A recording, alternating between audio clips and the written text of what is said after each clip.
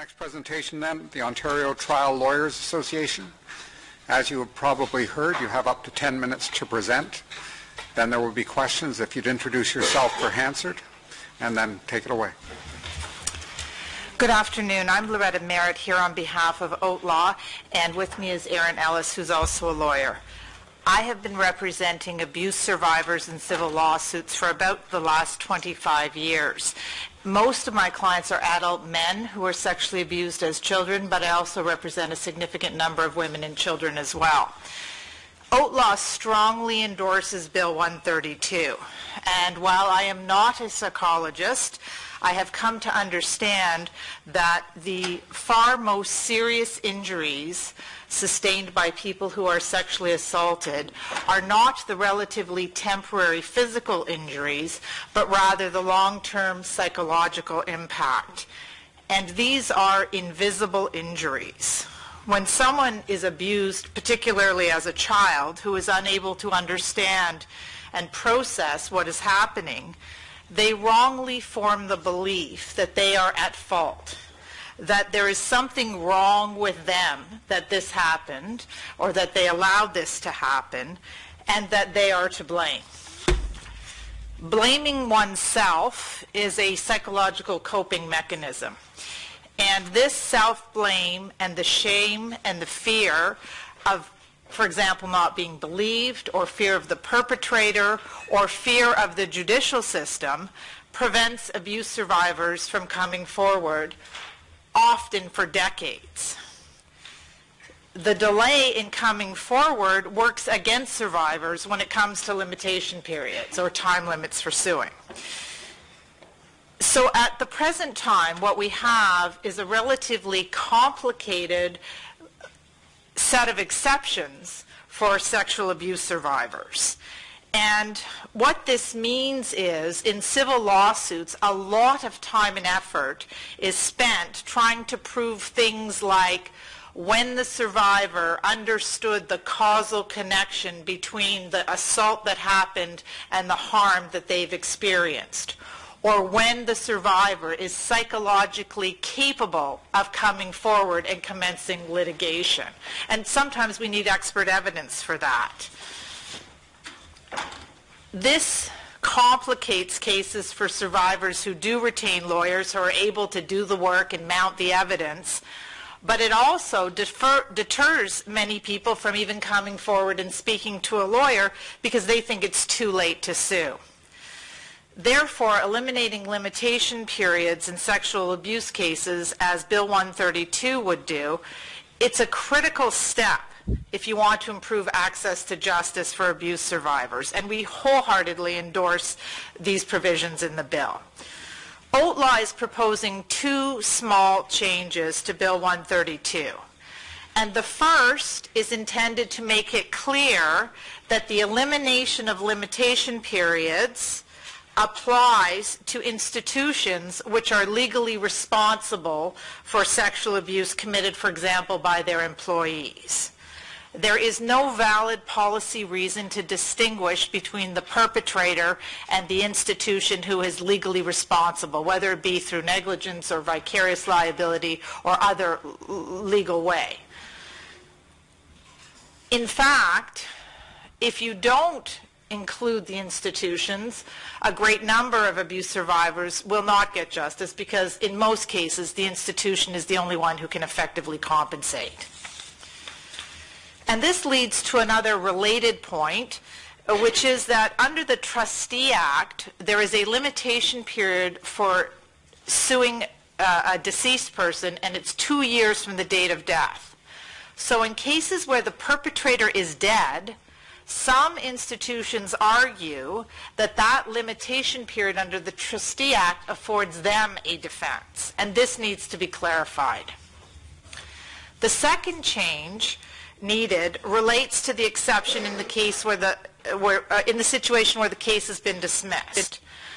We certainly agree with the exception that if the case has been finally dismissed by a court, there, there should be no limitation. There should be a limitation period. However, Bill 132 needs to be changed to say that it is dismissed by a court order. And the reason for this is that sometimes cases get administratively dismissed by a registrar because an error was made, and then they're later revived, and they proceed as though that never happened. So the language you have now in Bill 132 could create a loophole for these situations where a case was administratively dismissed. So all you need to do is add the words "by a court order," in which case that loophole will be closed. There are a few other uh, legislative amendments that OTLA would like to see, and most of these relate to the Victim's Bill of Rights. When someone is assaulted and forms the belief that there's something wrong with them, their lives tend to become a self-fulfilling prophecy. So they cover up the shame and the blame with self-harming behaviors like alcohol and drug use, and they tend to be re-victimized. And for this reason, I'm of the view that the psychological injuries arising from sexual abuse can actually be far worse than even a devastating physical injury like losing a leg. You can recover from losing a leg. It's hard to recover from thinking you're a worthless human being. Yet, because these injuries are invisible, they're poorly understood and seriously undercompensated in our judicial system. So we are proposing amendments that would eliminate repayment of Criminal Injuries Compensation Board awards, Ontario Disability Support Awards, Ontario Works, as well as the elimination of the cap on pain and suffering for sexual abuse cases. And finally, proposing full indemnity costs be paid by unsuccessful defendants. One final point. One of the greatest harms from sexual abuse comes from the fact that survivors stay silent for years. And this is particularly true with children who are abused and stay silent and lose the opportunity to have an adult help them process and understand what's happened and understand they're not to blame.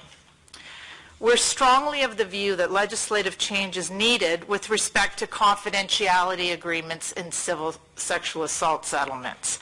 Sometimes, even today, defendants ask for complete gag orders in settlements. And these gag orders would prevent abuse survivors from ever talking about what happened to them.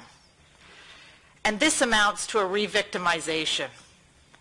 Silencing the survivor can never be justified. And legislative action is needed in this area.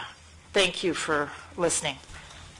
Thank you for that. We have about two minutes per party. We start with the third party, Ms. Sattler.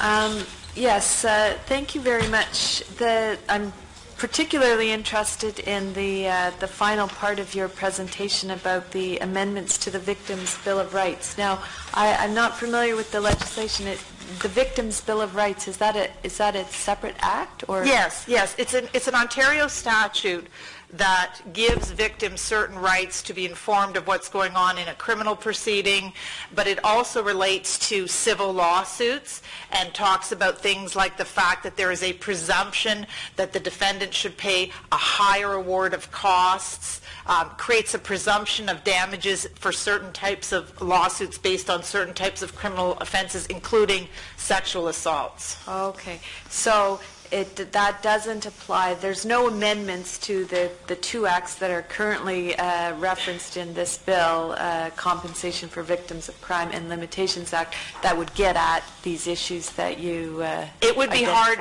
other than the Trustee Act one, that could be done in Bill 132, the one where the perpetrator's dead. You could do that in the Limitations Act. Okay, so that's the only one that, that's the only amendment that could be, that, oh, no, I guess you've proposed language for the amendment around institutional defendants. Right, so the first two points I made relating Okay. to court orders uh, dismissing actions as well as uh, making it clear that institutional defendants are are caught up by Bill 132, those are absolutely squarely within 132. The Trustee Act amendment, you wouldn't have to actually amend the Trustee Act, you could put something in the Limitations Act about that to say, see. right? But the other things I think are really something to subsequent uh, legislation? Something to be done in the future, yes. Okay. Um, the- The, I d- if you've had a chance to review all the schedules of the bill, uh, there's some, we've, it's been pointed out to us that there is some uh, variation in the definitions of sexual Ms. sexual Sattler, violence. I'm sorry to say you're out of time. We go to the government. Ms. McGarry. Thank you very much for your very thoughtful and, and very comprehensive understanding of the issue. Um, I I'm, don't even know where to begin with questioning, but I'm going to start from the very beginning. The health and physical education curriculum changes that have happened in Ontario schools this year. Are you supportive of that? Absolutely, absolutely. The sooner we can educate our children about these kinds of matters, the better. It's all about creating a space for children to come forward and disclose at a very early stage. All the science backs up the fact that it's the non-disclosure that creates the greatest harm. So anything that opens the conversation is a good thing in, in my view. And it's interesting that you, you followed that through. Uh, you should be a psychologist as well as a lawyer. I'm sure you've heard that for now. Regarding the self-harming behaviors like uh, alcoholism and, and re-victimizing, is there much understanding uh, amongst your members, or should there be more training regarding these kinds of issues? Well, you know, I'm happy to say that as more survivors come forward and more medical studies are done and medical literature is available, the legal profession as well as the judiciary is becoming much, much more aware of these causal connections and links. And new information comes forward almo- almost on a, a a weekly or monthly basis. They're now finding links between, for example, schizophrenia and childhood sexual abuse. And that's something that for many years we, we didn't understand there was any connection there. So it's something that's constantly evolving, but uh, yes, obviously there can't be enough public education on this issue. And unfortunately, it's an issue a lot of people just don't want to talk about. And I commend you for bringing that forward. What percentage of clients come after two years uh, with historical abuse, would you say, to uh, want to do something about it? Come after, like longer than two years? In my practice, 99%. Wow. Oh, yeah, I have very few current cases, very few. It's only when, the current ones are, like I say, the, the the exception. The, bo- maybe And- 99, might and be, with that, might be a I'm little high. Sorry to say, we're out of time with this questioner. No, it was not. Mr. Yakabuski? Thank you very much, and thank you very much for joining us today. Just I want, to want to clarify uh, a couple things, and you're the law, I'm not a lawyer.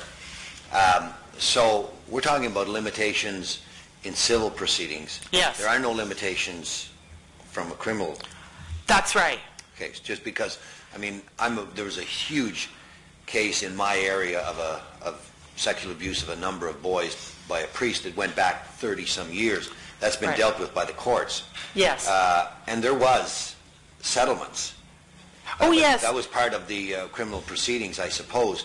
And I guess what I wanted to ask, so on the gag orders, sometimes in in settlements, there's a, an agreement, like the the victim, uh, in order to get it dealt with quickly, Right. they accept, are are you, were you proposing that that sh- that practice should be made illegal? For them Right. to accept a gag order, or just none none ever be imposed on them? Well, here's the thing.